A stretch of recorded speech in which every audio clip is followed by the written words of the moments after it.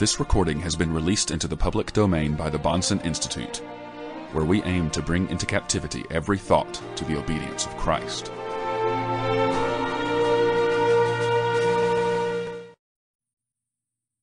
This portion of our seminar um, I'm going to call Kant in Context.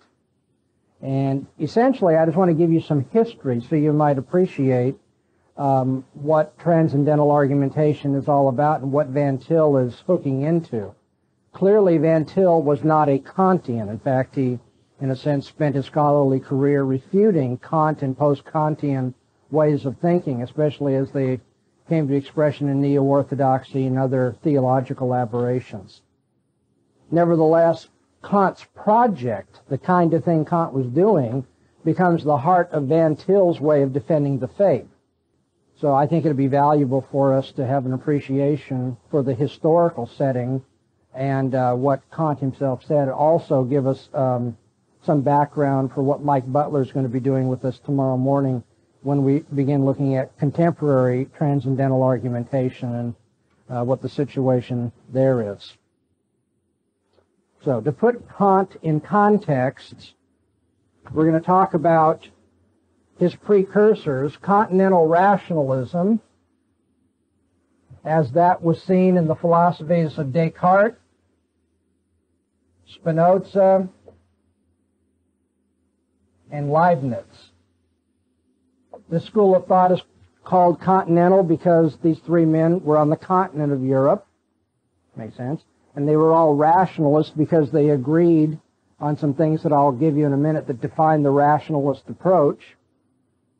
But it isn't as though they had the Continental Rationalist Club and this association got together every once in a while and issued their journal or what have you, but they're all, in retrospect, lumped together. And then British empiricism, what makes this nice is we not only have a difference in point of view, but we also have a difference in geography, so we can remember it. And three philosophers here, Locke, Berkeley, and Hume. Locke being English, Berkeley Irish, and Hume Scottish. I think they must have gotten together and divided that up and said, okay, now in England we're going to have this point of view, in Ireland no, this is again retrospective, but it is very convenient so we can remember these. You have the rationalist approach, the empiricist approach, and then Kant comes along and offers us uh, the transcendental approach or critical philosophy.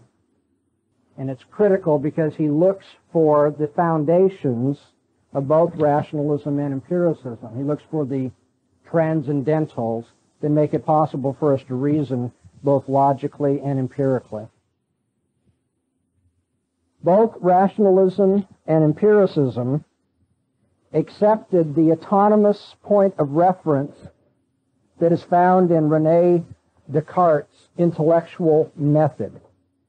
Descartes said, now what if I try to doubt everything that I can? Is there any way that I can come up with something that is beyond doubt? Can I answer the radical skeptic with any kind of indubitable? Is there anything that's beyond doubt? And he said, well, my existence is beyond doubt. Such a humble guy, this Rene Descartes, eh? Here's the one thing in the universe I'll tell you for sure. Me. I think, therefore I am. Which, as some critics later said, he could as well have said, I stink, therefore I am.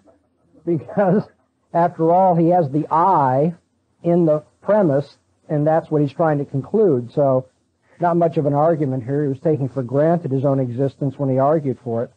The, the point is that Descartes assumed man's intellectual self-sufficiency. Man can be his own starting point. There are a lot of things that are questionable about life, about things outside my mind, about the world. The one thing that's not questionable is me. I exist. I'm the point of reference. Everything finally is going to have to pass that standard. It's going to have to conform to what I know about me. Okay, so what I'm saying now is that the empiricist and the rationalist, and for that matter Kant too, They all assume the centrality of man. Now earlier when we did our light once over on different kinds of proofs, what did we say happens to them all? They reduce to what? Subjectivism, and skepticism. Now why do you think that is? Because man is put at the center. Since everything pivots around man, his thinking, his authority, since he's the point of reference, it shouldn't surprise us that when you start criticizing, it reduces down to man himself, his point of view. And since that isn't absolute and beyond doubt, it reduces to skepticism. All right, so these are autonomous schools of thought. First of all, continental rationalism.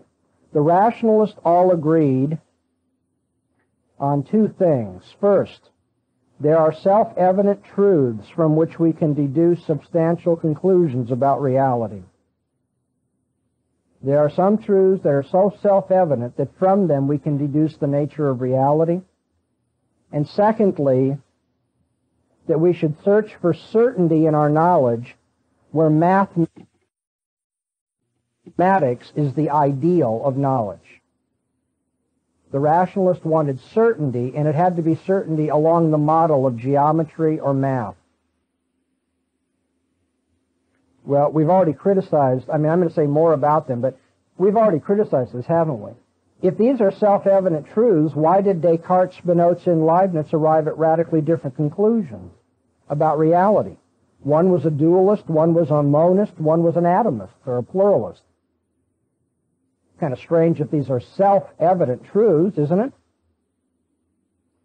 The rationalist had a supreme confidence in the intellect's ability to solve all human problems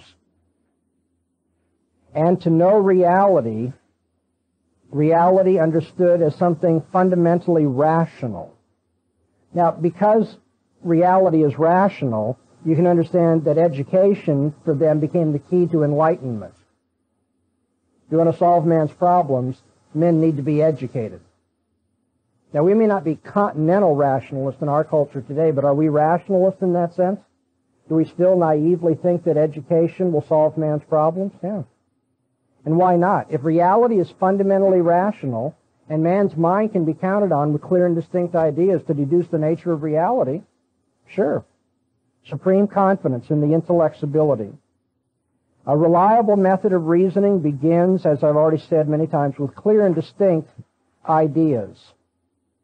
Well, if it, if the indubitability of these ideas is their clearness and distinctness to me, notice that indubitability is tied to an internal and subjectivistic reference point. It's something in me, not outside of me, and it's something subjective. For Descartes, whenever we encounter a property, so I'm looking at an apple and I encounter its redness. Whenever we encounter a property, there's an unperceived substance present. If any object of thought is multi properties. It has many properties, then there must be a substance that, quote unquote, holds the properties together. Yes? Apples just aren't red, are they? They wouldn't be very satisfying if they were just red. They're also spherical. Well, roughly spherical. They're also what? Crisp, sweet, tart, whatever. Well, why aren't, why aren't all these things just loose and disjointed? Well, because the apple is a substance that has the properties red, sphericality, crispness, sweetness, what have you. So for Descartes, whenever we encounter a property, there must be an unperceived substance present. The key here is that the substance is unperceived. Has anybody ever seen the substantiality of an apple? Have you ever seen what binds the redness, crispness, sphericality? No, of course not. So in order to think clearly, I must assume that there's a substance. But I don't see a substance. I only see the properties of the alleged substance. According to Descartes, there are two different kinds of substance, mind and body substance. Some substances are not extended in space, like souls or minds. Others, like apples and giraffes, are extended in space. Now, Spinoza also wants to deduce the nature of reality from clear and distinct ideas. By definition, Spinoza says, a substance which must be independent of other things. You know why it's independent is because the substance is what unites the properties, makes one apple different from another apple, right? You don't just have redness diffused through the world, sphericality diffused through the world. You have sphere, red, crisp, so forth, all together in this one independent substance. But Spinoza says if by definition a substance is independent, then there can only be one substance. There can only be one independent thing. If there are two things, then they're conditioned by each other. The rationalists don't get a lot of good press in America. But when you think about it, that's a pretty brilliant argument. I mean, he says, look, conceptually, you're committed to be, uh, there's, if independence is a mark of substance, then there can only be one. Ultimately, there's only one substance. And therefore, all is one. And what we call everything, the substance of reality, is nature. He says, or if you have a religious bent, you can call it God. That's just kind of different vocabulary for the same thing. And therefore, for him, physics and psychology are deductive sciences. They are not sciences where you go out and observe empirically and learn about the world, but you, you can deduce the nature of the world knowing that it's one substance and that you have clear and distinct ideas about your experience. Leibniz uses Spinoza's starting point that a substance is independent, and he draws the opposite conclusion. Since substance is independent, then there must be a plurality of independent things that don't have any relationship to one another. That's what makes them independent. Let me put it to you this way. For Spinoza, the independence of substance is gained by everything depending on it. For Leibniz, the independence of substance is gained by nothing interacting with anything. And so he said reality is made up of a number of, quote, windowless monads. They're windowless because you can't see and have any interaction with anything else. It's a monad. So make them, would you say then that maybe um, Spinoza was focusing in on the one, like this was focusing on the many? Yes, I would. Yeah, that, that's exactly right. But they, they begin with common premises and they end up with radically different conclusions about reality. Now, you will appreciate this, even if you don't like these guys so far and they confuse you. Both of them were eventually dismissed as dream philosophers who had gained coherence and experience in an artificial way. By their artificial conceptions of unity or independent pluralities, they had coherence, but it was all a dream real, I mean a dream philosophy sort of thing. You could easily understand then why the, excuse me, the British empiricists wanted to get away from all the abstruse speculations of the continental philosophers. In another sense, though, they, they both are also uh, emphasizing one and many in the sense they both have a rational scheme. And yet you press on as it becomes irrational. Right? Yes. In one sense, you can say the one with atom is emphasizing the many uh, the other sense, uh, Spinoza emphasizing the one split component. In the other sense, they both have a, a one and many aspect. Mm-hmm. All philosophies do. Right. What was their answer for bringing it together then?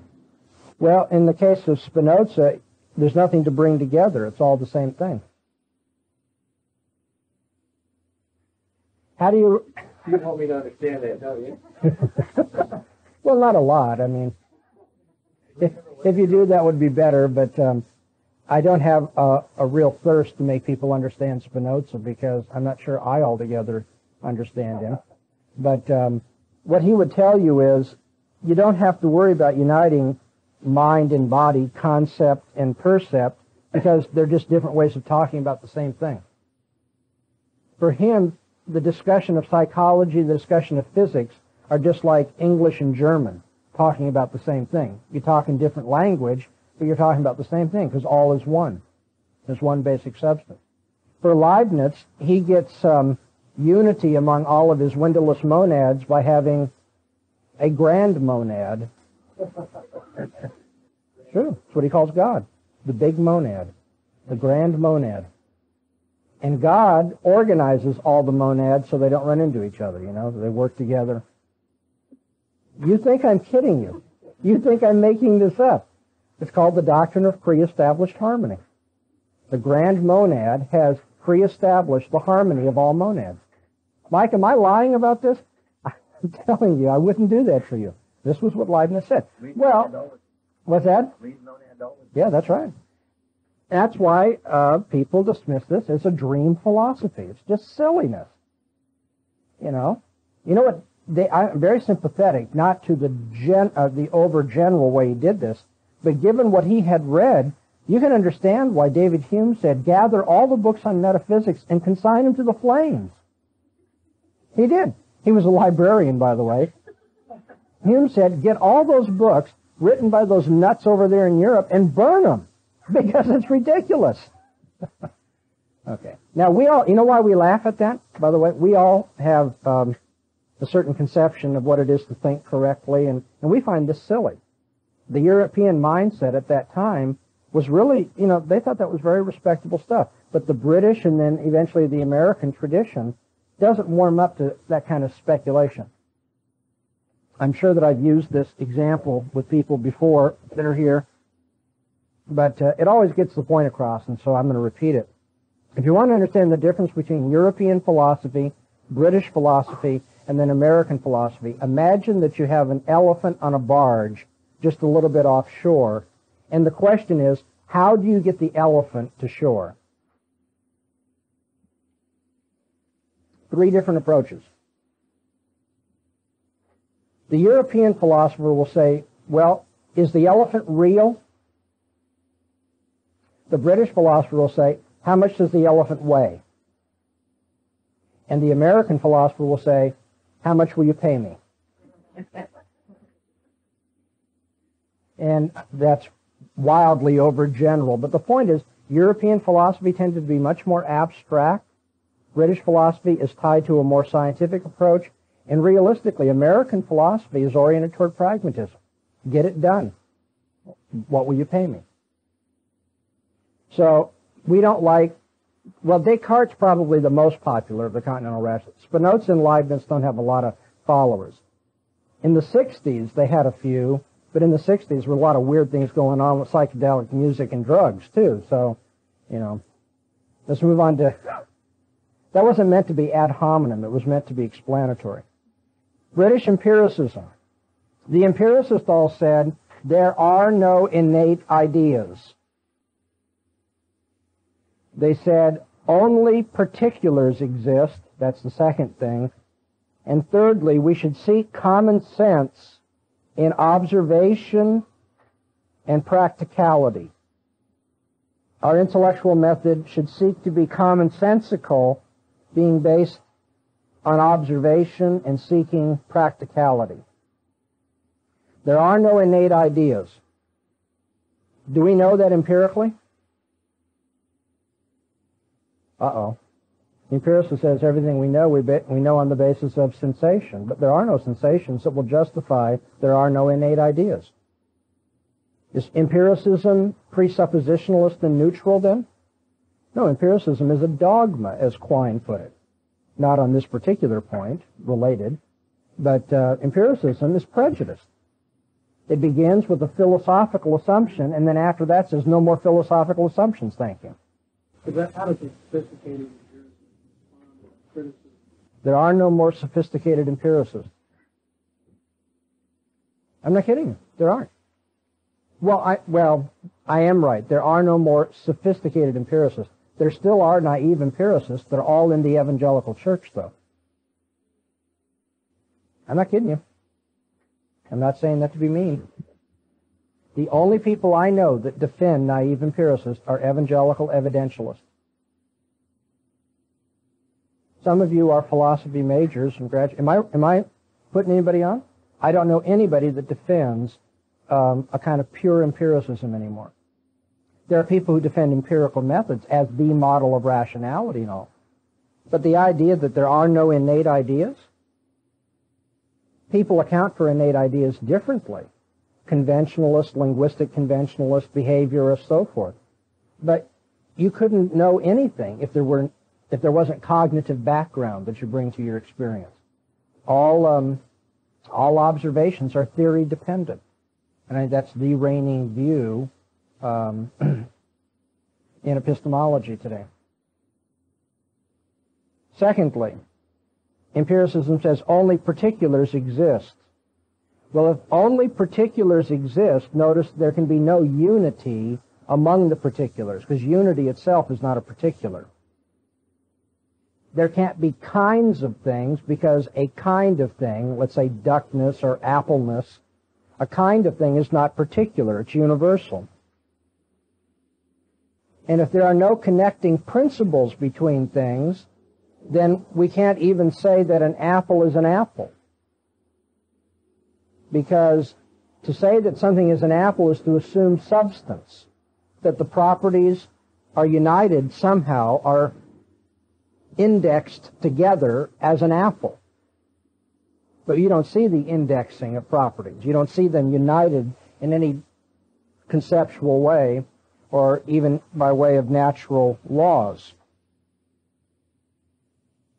Not only is there no substance, if only particulars exist, there can be no causality. Because you can have a particular event and another particular event, but you can't ever say there's a necessary connection between those two events. So you can't ever say anything is causally related. John Locke, the first of the British empiricists that I put up on the board for you, said that the substance that we think about that individuates things and unites properties. Substance, he said, is a substratum for qualities. It's something that underlies the qualities. Like a pin cushion underlies the pins that are in it. Properties are like pins that are in the substance, the pin cushion. But when pushed, Locke said, openly said, substance is, and I quote, I know not what. That's hyphenated. He wasn't saying, I don't know what substance is. He was saying that. But the point is, substance is a mysterious, metaphysical thing. It's I know not what. But he felt that he had to have that. Now, in passing about Locke, no innate ideas, but when it came to political theory, this is what Locke is known for by most uh, American school children, right, or high school children anyway. What did Locke teach? The doctrine of well, private property as an inalienable right. There are no innate ideas, but there are inalienable rights. So if you want a homework assignment, go home tonight and see if you can bring those two together in your worldview. An inalienable right, how can it be inalienable if it's not innate? You know? So it's pretty tough to get all this together. Well, I want to move on though. Locke saw substances I know not what. Berkeley argued that to be is to be perceived. And therefore there are no abstract ideas, he said. Nothing exists in abstraction. Everything that exists is concrete and it must be perceived to exist. However, matter is an unperceived abstract idea. Has anybody ever perceived matter? Now don't tell me you've perceived things that are material. That isn't what we're asking. The property of materiality may be there concretely in some things. But the idea of matter is abstract. Material substance is unperceived and therefore doesn't exist. And so according to him, there is no material reality. But what about materiality? I said there's no material reality. What about that property of materiality? Like that, you know. Johnson once thought that he refuted Berkeley by kicking a stone. I mean, that's laughable because if you understand the argument, he didn't deny that we have um, sensations. But stop and think about it.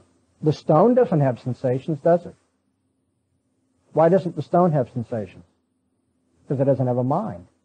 Sensations are interpretations. Okay? And so, in order to have a sensation, a sensation must be in a mind. So even sensations of materiality are mind dependent. There is no material reality. All reality is mental reality. And that's why you have this odd combination in Berkeley of a man who is an empiricist but an idealist. He takes empirical presuppositions and pushes them to idealistic conclusions about the nature of reality. Well, Hume comes along and he says, well, I can do you a, an even greater favor. You've gotten rid of Descartes' material substance. If we're going to be really honest empiricists, we have to get rid of mental substance too. And earlier we talked about this. There's nothing that gives unity to my perceptions. I'm nothing but a bundle of perceptions, and even that's cheating to say that. For Hume, in order for something to exist, it has to be traced to a sensation. That's the empirical approach. No innate ideas are going to help us here. And we never have any sensations of connecting principles between our experiences. We don't have any psychological connecting principles, and therefore there's no me, there's no continuing personal identity, and we don't have any perception of physical connecting principles, and therefore there's no causation in the world. There's just one random event followed by another random event. Every experience is a separate, isolated unit of consciousness. There's no necessity in the world of thought or experience, sensation, and there's no necessity in the world that is outside the mind. And so there's no basis for a knowledge of the external world of enduring objects, no basis for a knowledge of causality among objects, nor is there a continuing self that could know the causation between objects. Now, what would you call this view if you wanted to just choose a term out of the history of philosophy? How about skepticism? Boy, that's radical. How did Hume deal with the skepticism? Yeah, well, actually, he said when he gets working on these problems and they really get him down, he stops and he plays backgammon with his friends. I'm so glad that he said that. He must have thought he was being real smarty, you know, to say that sort of thing. But that is such an honest admission. That's our culture, my friends. When you get tired of the philosophical problems Monday through Friday, you know, at the SC Philosophy Hall, you go home and party. That's what you do. You go to football games and watch movies and think about your kids, and then you go back on Monday and start all over again. It's two different worlds, and they cannot be brought together. Hume admitted that we do think causally, but he said there's no rational basis for it. That's why he's a skeptic. So why didn't you just stop? Stop what? Why? Wouldn't you rather go home and party and go to football games and stuff?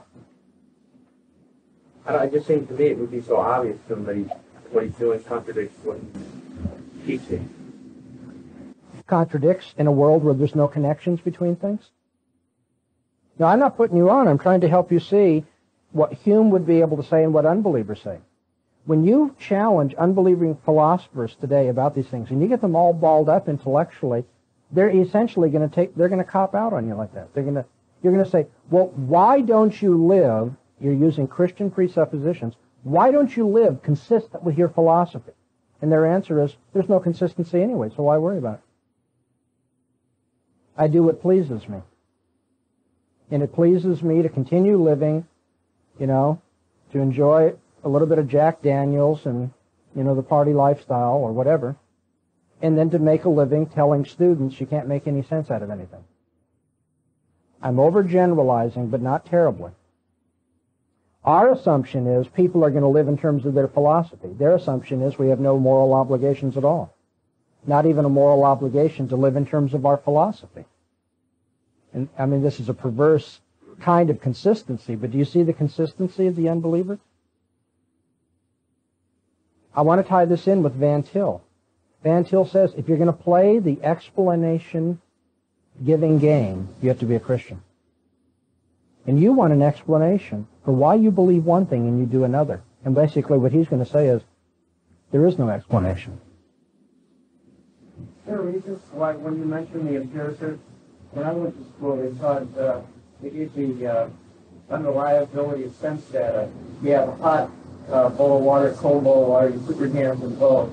Then you put in the third common ball and it feels hot for one, field for the other. Right. What, you didn't bring up, when you, in your quick critique stuff, that you have three, you didn't bring up the other of stuff. data. Would you if you had more time? Yes.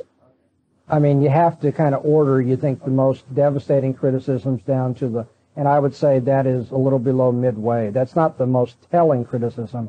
But it, well, but you see, the answer to that is you need an objective way of measuring, quote unquote, not a subjective way of measuring. And that's why we use, that's why we have thermometers, exactly. I mean, there's other problems about, what's that? How do I come back to it? So they'll say, okay, yeah, well, we get an objective measure uh, for sensation, you know, an independent thing. And so, in other words, what they're trying to cut, the way they're trying to answer that is, that, oh, yes, there is uh, an independent, objective standard for sensation. Is that what they're trying to do, I guess? Yes. Oh, you know, it's thermometer. Yeah, they are, but again, no sophisticated philosopher uses that argument. You know why? I mean, think about it, Bill. If I'm going to be a radical, I mean, it's fun being a radical skeptic. Now I'm going to say, what's the connection between the measurement on the thermometer in this hand and this hand? Obviously, what you have here is three different measurements, and there's no connection between them. Yeah, exactly. See, they're assuming that if we can depersonalize it, that makes it objective. But now there's a, re- what's the relationship between the impersonal and the personal measuring devices? Okay? The problem in epistemology is the problem of perspectival variation. Okay, you're out on the lake and you're, you know, you have your oars, you're, you're rowing on the lake, and you look in the water at the oar, what do you see? You see a bent oar, don't you? Because of the refraction of light in the water. But then you say, wow, what happened to that oar? And you put your hand in the water and you, you skim down the oar and you say, no, it feels straight. So you look at it and it's broken, not broken, but bent. You touch it and it feels straight and you say, oh, okay, well that solves it. That solves it only if you arbitrarily exalt tactile sense over visual sense, right? Yeah, exactly. So there are problems with empiricism, but I think these are more uh, like mosquito bites over against the hammer blows of what Hume was doing here. Okay, so now to appreciate Kant, you can see that the age of reason, why would philosophers call it such a thing? The age of reason ended in subjectivism and skepticism, didn't it? Whether you're a rationalist or an empiricist. And that led to a collapse of confidence in man's intellectual uh, ability and the objectivity of knowledge, particularly the objectivity of knowledge of a real, orderly world. Neither the rationalist nor the empiricist were able to find a reliable method of knowing. And it turns out that there's huge disagreements over this instrument called reason and what reason is supposed to be. You know, it's one thing for the unbelieving world to say, we exalt reason. In the French Revolution, you remember, the goddess of reason was exalted. You know, but if you were an analytical philosopher, you'd say, what are you talking about when you speak of reason? You're talking about reason as Spinoza understood it? Leibniz? Berkeley? Locke? Hume? Who? What is reason in the age of reason? Well, it's a zillion different things. And Kant was scandalized by that. Now you said uh, the age of reason collapses what? Skepticism. No, subjectivism and skepticism. Does that sound like a familiar tag team? Yeah, right. Okay. You, you said earlier, talking about continental rationalism, that reality equals rationality. Is that it? Reality is rational. Yes. And now we have rational men disagreeing with each other about reality. Right. So it's really it's the, it's the particular rationalist determining what reality is. Yeah, so it's subjective, which reduces to skepticism. And what was what? Why do they keep having this problem? Because the, their fundamental assumption is the autonomy of man. They began with man as the reference point and the final authority. in the history, well, in the way philosophy is taught in secular, well, even in Christian schools, but the way philosophy is taught, it's as, th- it's as though, well, to do philosophy, you have to assume that. I mean, that's just, you're not doing philosophy if you don't do that. So when we suggest, well, maybe you ought to begin with the theological presupposition, with God, who is the creator of man, rather than with man who then goes out to discover God. But if you suggest that today, you'll be told, I think almost invariably, you'll be told you're not doing philosophy, you're doing theology. And we all know how disreputable theology is. Well, I don't wince too much when they say that. I say, yeah, the only thing is my theology can save your philosophy, so maybe we ought to talk a bit more. Okay, Kant, finally. Kant was scandalized by the situation in philosophy. You have these uh, rationalists and you have these empiricists, and they both reduced to um, subjectivism and skepticism. In particular, he wrote that he was awakened from his dogmatic slumbers by Hume. And Kant was led to alter the view of reason that he had previously held. That's why the title of his book, his best known book, most important book, I think, is A Critique of Pure Reason. Kant's philosophy is sometimes called critical philosophy.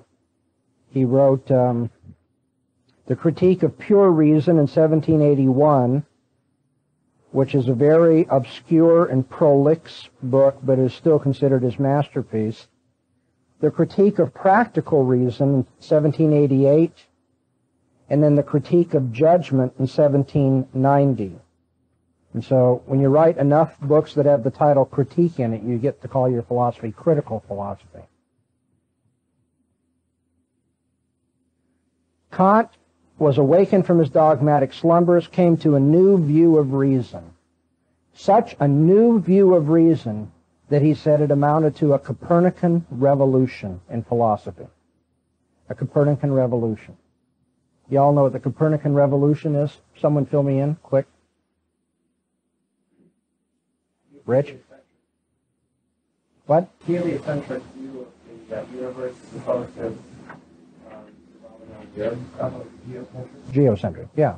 And so the geocentric view, which had been promoted by, well, but before him, Ptolemy, uh, had dominated until Copernicus, making use of the telescope and other instruments, said we really have to reorient the way we look at things. It's not that the Earth is stationary, let's say passive, and everything is active around it is that the Earth is active and is actually going around the stationary object, the sun.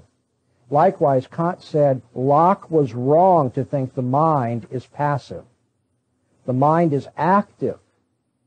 In order to make sense out of our thoughts, the mind has got to make them sensible. Not only sensible, but intelligible. And how does the mind make them sensible? It always attributes to our sen- always attributes to those sensations coming in time and space predicates. The mind actively imposes order on the chaos of the world that we encounter. Of course, I'm assuming it's a world out there. Basically, Kant said there are things in themselves and we know nothing about them. We don't know the way things are as they really are in and of themselves. We only know them as we experience them. But as we experience them, we impose temporal and spatial uh, characteristics. We impose order on our sensations. Not only do we make our sensations sensible, part of time and space, but we also make them intelligible because we have to categorize them. Our sensations have to be formed as, as things that are understood causally, substantially, numerically, and so forth. So uh, Kant goes through in the critique an argument for all these different categories in terms of which we must think. Hume had gotten rid of causation and inductive reasoning saying we don't ever observe it. If our minds are passive and we only know what impinges on our minds, causation's never impinged on our mind because nothing necessary, well, to put it simply, nothing necessary can be particular and we only sense particular things. So we can't ever have a sensation of causation or of substance. Kant said, oh, and, and, and Hume's final word is, that's just the habit of the mind. Kant says, I can save science. I can save causation. I can save substance. Oh, how's that? Kant says, it's a habit of the mind. Don't you get it? I mean, I, am not being cutesy here. That's an old philosopher's joke. Basically, Kant took Hume's despairing conclusion and made it the answer to, to Hume's skepticism. Hume said, the only reason we draw causal connections is because we're in the habit of doing it. It's a mental habit. Of course, he can't account for habits, given his view of man, and so forth. But Kant takes that and says, well, the mind itself imposes actively causal categories and everything. And that's why if you talk about God, you have to, if you're if God's going to be intelligible to us, we have to ask, where does God come from? Now, Kant also had a, a portion of his critique that he reserved for the categories of God, world, and self. And on these, he said, though we have to think in terms of these other categories of substance and cause, we can't draw conclusions from them. They are only limiting notions. The only God that could be intelligible to us would have to be a God that has a cause, but we know better than to say that. God can't have a cause. So that's just a way of thinking by which we limit all of our causal reasoning and then we stop and we call that God. But we don't really intelligently or intelligibly know God. For Kant, God was part of the noumenal realm.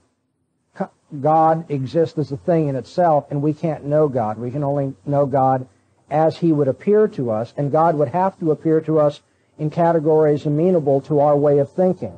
Our way of thinking is causal, therefore God can't appear to us in miraculous way. Because for us to think rationally about anything is to reject miracles. Okay? Now, this is all very wicked stuff, but it's also extremely entertaining and clever. What's it rest on? Rest on the assumption that we don't know the objective world. We only know the internal phenomenal world, the world as it's experienced by us. And since that world is itself formed, made intelligible by the activity of the mind, then naturally what we think is necessary. And what we think in terms of the categories is necessary. Necessary by what? Psychological habit. So Kant said against rationalism, there are no innate ideas. According to him, nothing can be known rationally apart from experience. So he's against the rationalist. He favors the empiricist on this one. There are no innate ideas. The mind doesn't have ideas in it inherently. But against empiricism, the mind is not a tabula rasa.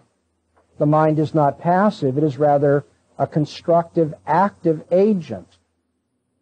So that what we know is to be attributed not just to the world outside us, but is to be attributed to the activity of the mind in constructing a world that is intelligible to us. And so to use the famous line for which Kant is known, concepts without percepts are empty, percepts without concepts are blind. If you only have perceptions and, and they are not made intelligible by the concepts, they're blind. But if you only have concepts, like causation, substance, whatever, without perceptions, then they'll be empty.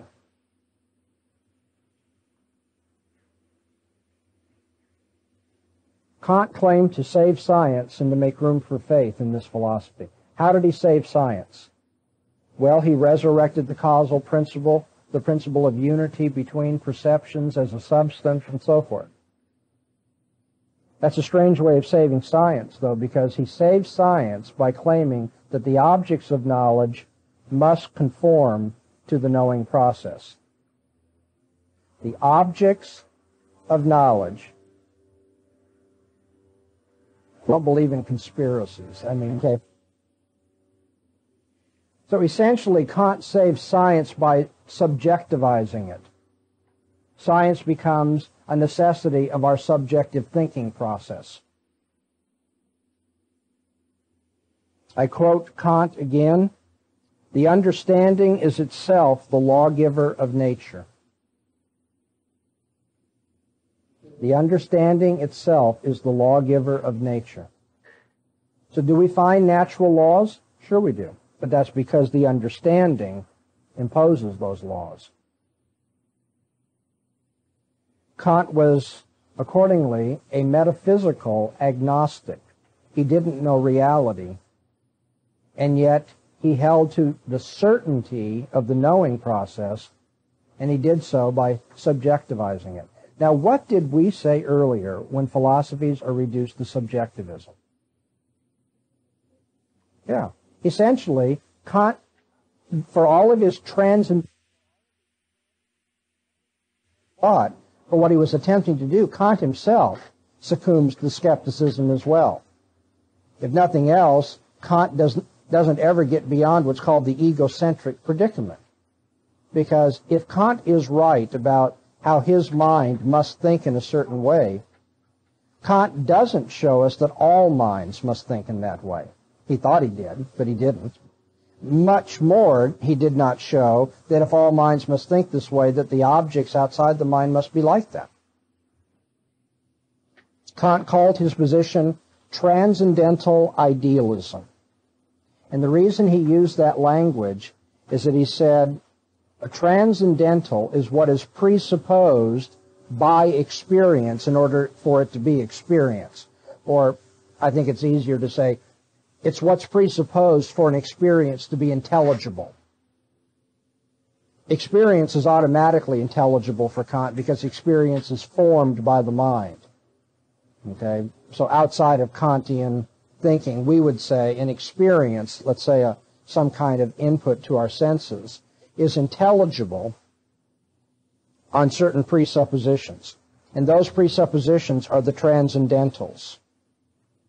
Transcendental analysis thus asks, what are the preconditions for the intelligibility of human experience? Or under what conditions is it possible to make sense of the world or to experience, rationally to experience the world? Why don't we just stop our Christian apologetical search with Kant then? I mean, he was so smart to get onto this transcendental approach. Why aren't we satisfied with Kant's transcendental analysis? Well, I've already indicated to you, well, Kant's transcendental analysis is subjective. It doesn't really give us any metaphysical information. Kant's transcendental analysis is psychological and assumes, without any warrant, the universal psychological operations of men. How did he think he proved what? That all our minds are going to work the same. Uh, well, interpreters will differ with you as to how Kant would answer that. Basically, Kant said, you're not talking about thinking if they don't do what I'm telling you. Now, well, okay. But now, is that a linguistic convention? Is that, is that what he was getting at?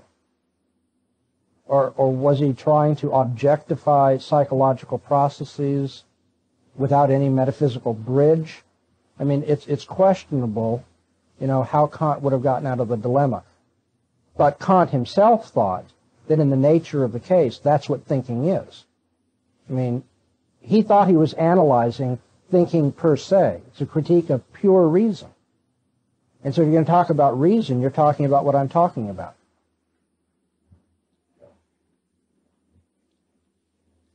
It's, I know that's frustrating.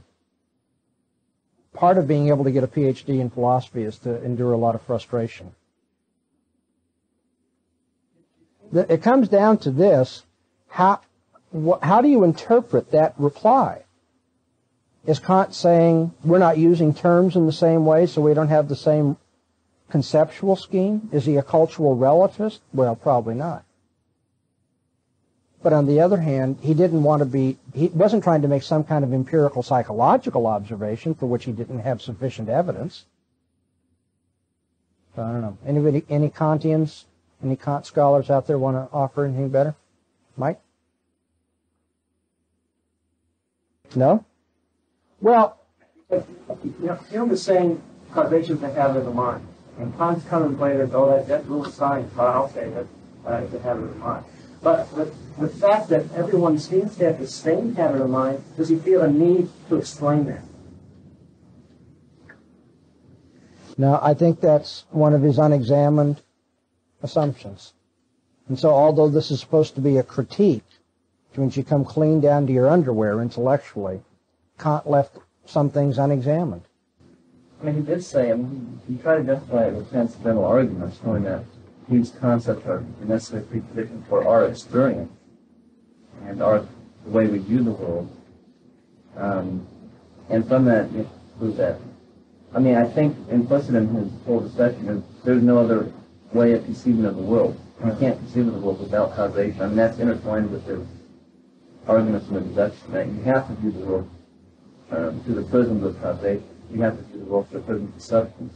You just, we can't make, until we can't make the world uh, conceptual scheme intelligible without those type of things. So to him, I mean, it's just like Dr. Monk definition, that's what thinking is, to not have that type of stuff in your conceptual scheme is not to have, he didn't use conceptual scheme language, mind you, but to not have those things within your conceptual scheme is not to have one at all. And not to have one at all is not to be able to think. According to Kant, reality could not be understood by a single unified common set of principles. To understand nature, you have to use causal principles. Now, I have not talked about this next thing, but I'm just putting it out there for you. But to understand morality and human personality, you have to use principles of freedom. And so according to him, even on his own approach, there are two wonders, the starry heavens above and the moral law within, and you can't bring them together. Now that's poetic language, but what he says, the way you understand the physical cosmos will not help you understand the moral law. And the way you understand the moral law, freedom, will not help you understand the physical cosmos. Physical cosmos is governed by causation, determinism. Okay? But morality presupposes freedom, indeterminism. And Kant admitted that and left it out there. So does he have a unified worldview? No, he doesn't have one at all. So I don't think his transcendental arguments save science as he thought because they really succumb to subjectivism. And he doesn't save philosophy in general because he doesn't have a common principle by which you can account for things or give explanation. There's two kinds of explanations and he never can bring them together. And then one more comment about Kant, just so you'll understand why us Van Tillians like what he was trying to do, but don't like the way he did it. Did Kant save human personality, the unity of the person? Hume said, I'm only a bundle of perceptions. And twice I've now indicated or more, he doesn't even have the right to say bundle. Because bundle assumes unity, and he doesn't see any unity there. But uh, anyway, he knew there was no connection on his philosophy between the perceptions, so there couldn't be any person to have the experience. Now Kant realizes that's devastating. And that destroys the ability to know anything. And so Kant argues that there must be a unity of thinking, a subject who thinks. But according to him, that subject cannot be known observationally, obviously. By the way, having mirrors doesn't help this problem. Because you're not observe, you may observe a physical body in the mirror, but you're not observing, to use Descartes' language, the mind that experiences and unites all of those experiences. Kant says you do have to have a subject of thinking, but that subject of thinking cannot be known observationally. The subject of thinking can only be known through its thinking. That is, we only know ourselves in the act of knowing. And in that case, in knowing myself, Kant says, I only know a place, well, I'm using my language, a place marker. The human person is diaphanous. When I look at myself, not my body, but when I look at myself as a knower, I'm really looking through me. Because the only me there is is this place marker for the, all of these experiences that are coming in. So we don't find that an adequate apologetic, to be real obvious. God cannot be known because God is in the noumenal realm. Any God that you could rationally know would have to be subject to scientific determinism, no miracles, etc., etc. The only God that you could know would be a God that stands behind the moral law as, as a limiting notion that there'll be a day of judgment if we don't live up to the rational moral law within us. But that moral law can't be related to the world that we know rationally about us either. So he has a, a dichotomy in his um, philosophy. And then finally, we don't even know ourselves except as there's a philosophical necessity for something to unite apperception. Kant's word was there's a transcendental, transcendental unity of apperception. We must think of ourselves as having perceptions. It's a transcendental necessity. But that unity is diaphanous. It doesn't have any content, any detail. It's essentially a function, a place marker in our thinking.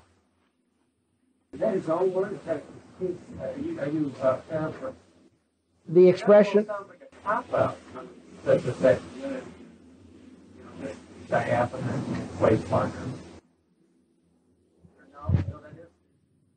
Um, I don't think Kant was real proud of that in the sense that he had come up with something grand. I think he would just say that's the way it is.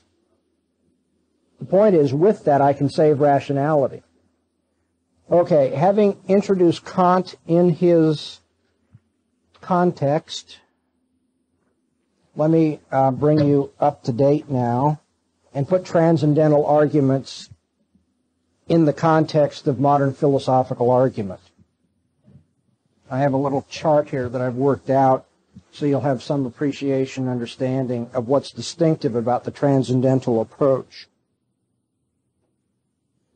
In the case of Kant, we see that tra- the transcendental approach is distinct because he's not looking for observations to justify his philosophy. He's not an empiricist. But nor is he trying to look for clear and distinct ideas from which he can deduce the nature of reality. He's not a rationalist. He's not He's not doing the rational game, the empiricist game. He's asking, what else must be true in order to make sense out of my thinking as a scientist, my thinking as a logician, or whatever it may be? He's asking for the presuppositions of the intelligibility of any experience whatsoever. Now, in modern epistemology, you can think of the strategies in the theory of knowledge as being responses, various responses to skepticism. The reason why we need a theory of knowledge is because there are skeptics, basically. It's possible to ask skeptical questions about what we know.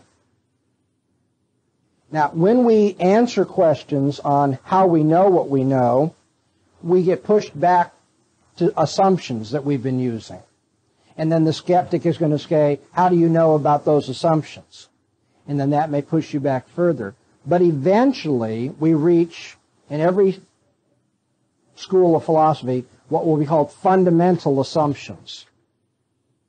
Can your fundamental assumptions be justified? Can they be rationally justified? And in the literature, there's sometimes is put in this form, can rationality be justified? Because you've been trying to show the skeptic, here's how I know what I know, and you've gone through various levels of assumptions. You get down to the bottom, can this rational procedure that you've been using itself be justified? And the answer of the skeptic is no. Fundamental assumptions cannot be rationally justified, and therefore all belief systems are ultimately arbitrary. Because the standards of justification also need justification if you're going to be rational, you'll either have an infinite regress of justifications or you'll reach some level of commitment that is not rational. So that's the horns of the dilemma. The, the skeptic's argument is you're either going to have an infinite regress, rational justification with another rational justification behind it, and then another rational justification, and that's going to go on and on and on, in which case nothing ever gets rationally justified. Or you're going to stop your appeal to rational justifications and you're going to have a commitment that's not rational. And therefore rationality itself is not justified. Now, if the skeptic cannot be answered, then we've given way to intellectual anarchy or dogmatism.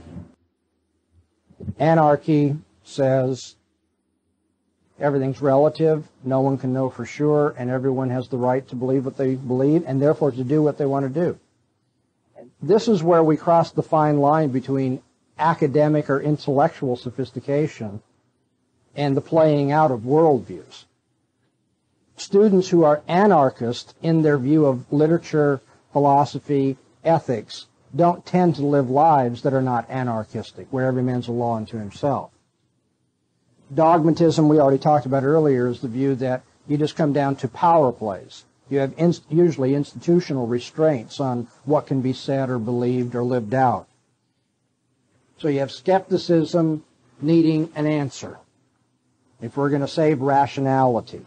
And the attempts to meet the skeptical challenge can be divided into three on my outline, and then there's going to be some subdivisions. First of all, there's the foundationalist attempt. Foundationalism unites together various epistemologies which um, want to eliminate arbitrariness in our thinking, want to eliminate prejudice, relativism, unwarranted conjecture, and attempt to obtain cognitive certainty that's not just a kind of psychological assurance. And the way in which we get cognitive certainty, according to foundationalist epistemologies, is to anchor our beliefs in some kind of a foundation, a foundation of propositions which are themselves unassailable. And then from that foundation, we conduct intellectual inquiries according to some strict rules of reliable method for reasoning. And we don't admit into our belief system any proposition that hasn't been certified by its connection to the foundation or other foundationally certified beliefs. And in that way, we can guarantee ourselves an accurate depiction of the world. We've used the term you may not be familiar with in calling this foundationalism, but you're all familiar with this way of thinking. I think this is pretty much the naive approach to epistemology most everybody takes. It's like, if I know this, then this is founded on this, and this is founded on that, and eventually I get down to the foundation for all of these beliefs, and they're built up by some kind of strict method. We may not agree on what that method is, but first we have foundations, then we have reliable method, and we can be assured the skeptic is wrong. We have an accurate depiction of the world. And the foundationalist that I want you to get into your outline, the most important kinds of foundationalism are conceptual or logical, perceptual, and then finally common sense foundations.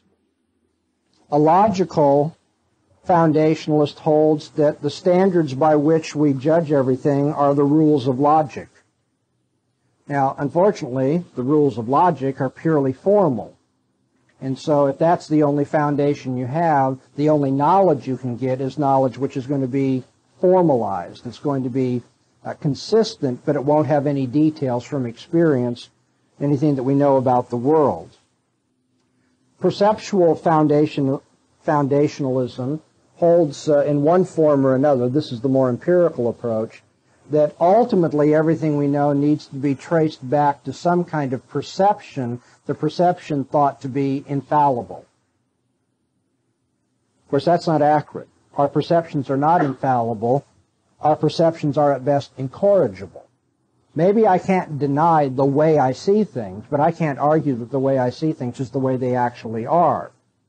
And so perceptual foundationalism hits the rocks pretty hard. I mean, the naive empirical approach to epistemology hasn't fared real well. And even its modern advocates, the logical positivist and others, have reduced themselves to self-contradiction and the inability to talk about their own philosophy. And so you can understand the sympathy that many people have then for common sense foundationalism. The common sense approach can be divided into two different um, ways of seeing common sense. One says it makes no sense to question the rationality of our standards of rationality. Since we accept these as the standards of rationality by common sense, it makes no sense to now question them. The more popular version of common sense philosophy, however, has been conventionalism, usually linguistic conventionalism, the standards that we call commonsensical are part of a form of life with which, um, in terms of which we've grown up, learned to use language and so forth. Well, common sense, you don't have to be a sophisticated student of philosophy to see through that. You know, one man's common sense is another man's absurdity, isn't it? And when you run into people who don't accept what you call common sense, as I said earlier, Wittgenstein said all you can do is yell heretic. Mean, I like Wittgenstein in that, I mean, he knew what he was getting at there. He said, there's no reasoning between these things. These are forms of life. What, what could I say to somebody who believes something as absurd as that? All I could say is, you're a heretic. Can't reason with you. I can just dogmatically dismiss you. That's nonsense to talk that way. Okay. Foundationalism hasn't fared well. It's not very popular in our days. There are some people who defend it in the common sense and perceptual forms, but not many. Who are they? Well, I'll give you a list of them. Actually, if you want to get my article, um, what's the title of it? Constructivism. Um, uh, three words on it. No, it's the one on the nature of science um, and whether whether science is objective and invariant. Say it again. Science, subjectivity, and presuppositionalism. You were right. It had three words in it. I'm sorry, Bill. Science, subjectivity, and presuppositionalism. And I give a list of some of the major players in epistemology today. Okay. Sellars is the one that I'm I know best. Perceptual foundationalism, defending it today, and you have G.E. Moore and um, Wittgenstein in terms of common sense or con- linguistic conventionalism and so forth. But Christians like this in evidential. Oh, yes. William Alston is Christian. He holds some form of the, I call it a empirical conceptual type of foundationalism.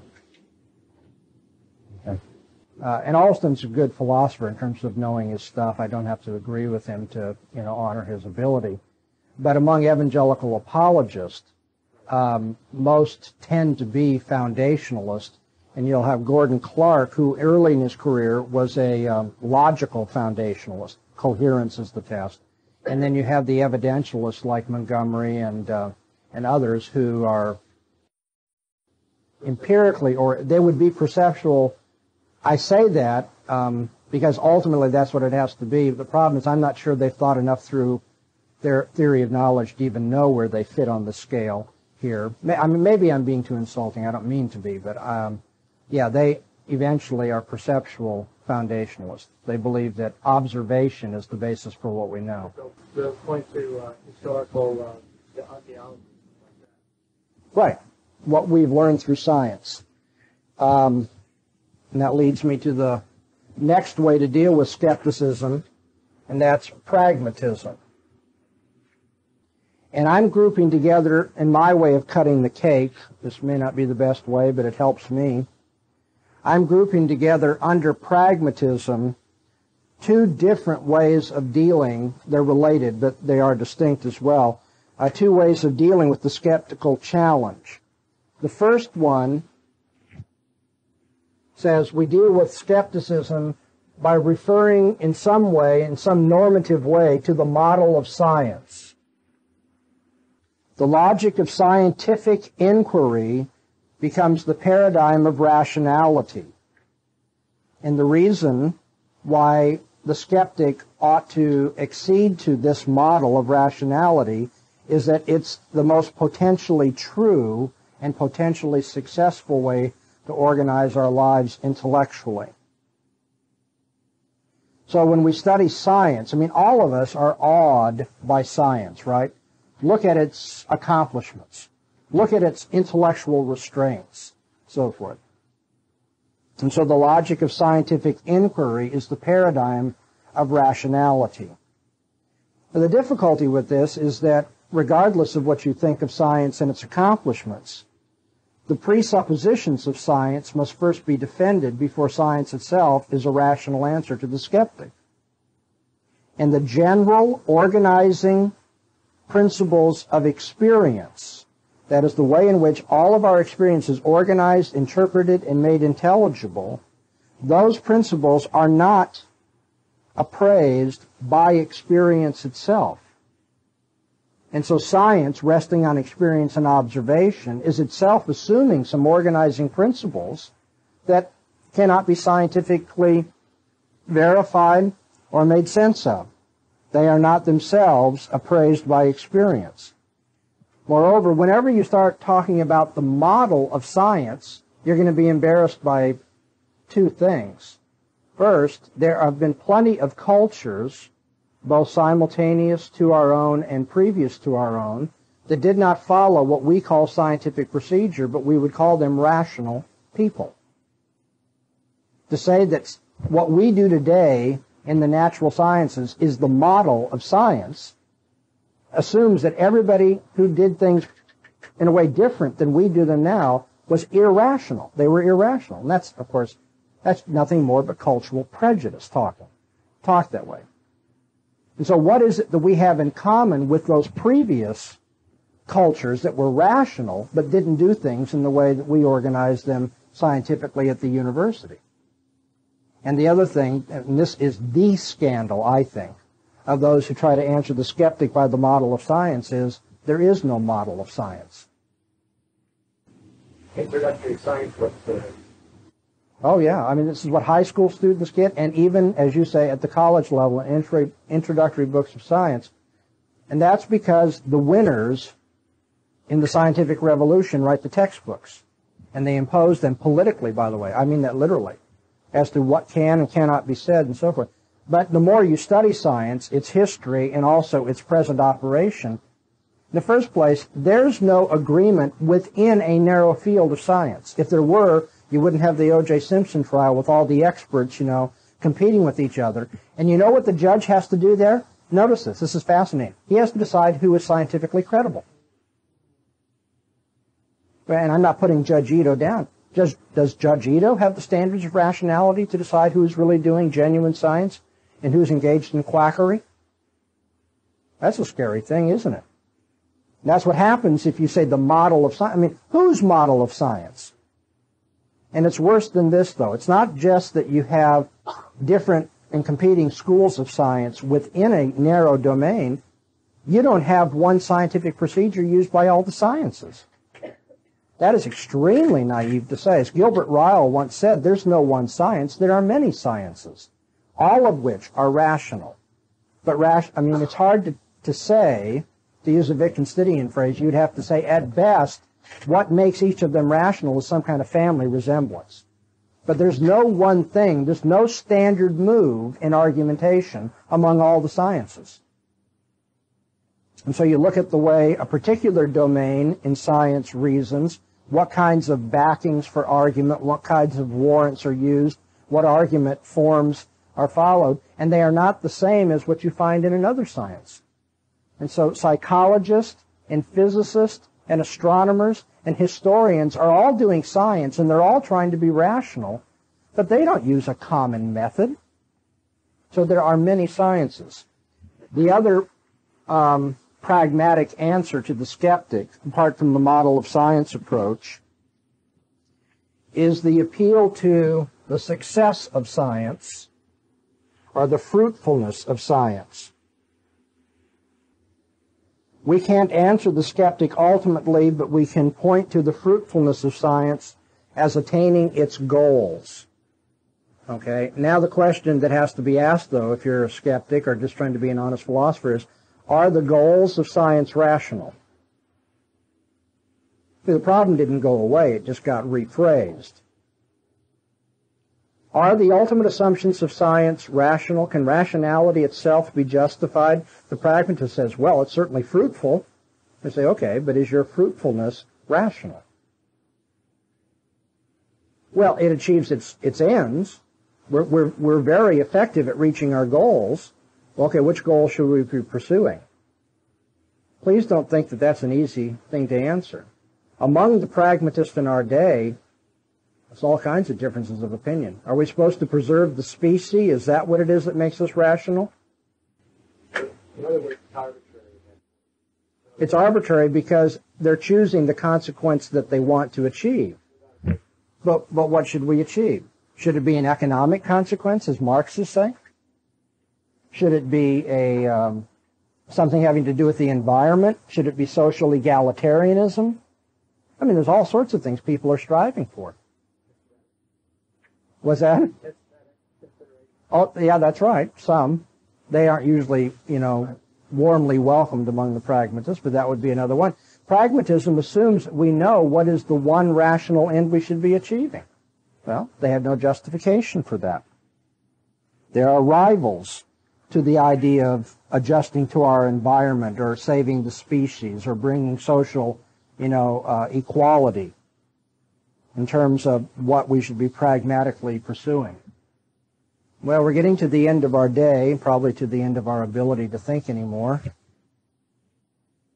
What are we going to do if the foundationalist and the pragmatist are not able to answer the skeptic? Well, there's one more form of reasoning, and this is getting back to what Immanuel Kant introduced to us in terms of a procedure or a, a, way of approaching it. He didn't successfully do it, I don't think. But the third way in which the skeptic can be met is to offer a transcendental argument. And the transcendental argument takes the form of saying that we know something is true from the impossibility of the contrary. That's one way of putting it. Or what we're looking for is the precondition for the intelligibility of experience. We say there are certain things we know to be true because those things are the precondition or the presupposition for intelligibility. So now the skeptic can keep blathering all he wants, but our point is, as long as you want to argue, Mr. Skeptic, you're presupposing the intelligibility of what you're saying. And so you've been met on your own ground, and it turns out you can't pursue your skeptical argument without this metaphysic or worldview in terms of which your language, your argument can make sense. Okay? Hopefully this gives you uh, uh, something of a map for the landscape of modern epistemology. It doesn't tell you everything by any means, but the big hills should be easy to see. You have the skeptic, who is really the troublemaker among us all, and the skeptic is going to be answered either in a foundationalist, pragmatic, or transcendental fashion. How does this apply to my opening statement this morning? I believe there's an objective proof for God's existence. Well, we have skeptics out there, religious skeptics and other kinds, right? They say we can't know these things. Some Christians say, let's try to satisfy the skeptic with foundational answers. Others are willing to say Christianity works the best, you know, and this is really the model for how to live your life. Yet others will say we can meet the skeptic by saying that even your argument presupposes the truth of what we believe, because without what we believe, your argument wouldn't be intelligible. That's the strength of the transcendental approach. When we regather in the morning, I'm going to ask Mike um, Butler to take our morning session, and if you need some more time, a little more after, but at least our morning session, and go over modern transcendental arguments and what are the, some of the issues that are involved there. So tonight, if you wish to prepare for that, make sure you look at the, um, everybody received in the mail, I think, um, an encyclopedia entry on transcendental arguments. And I know it's not the easiest reading, but go back and read Kant. You were also sent that material.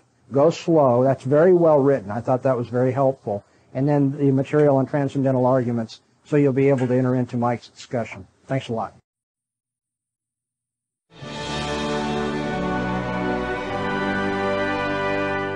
This recording has been released into the public domain by the Bahnsen Institute. Duplication, sharing, and distribution is encouraged. For more information about the life and ministry of Dr. Greg L. Bahnsen, visit our website, bahnseninstitute.com, where we aim to bring into captivity every thought to the obedience of Christ.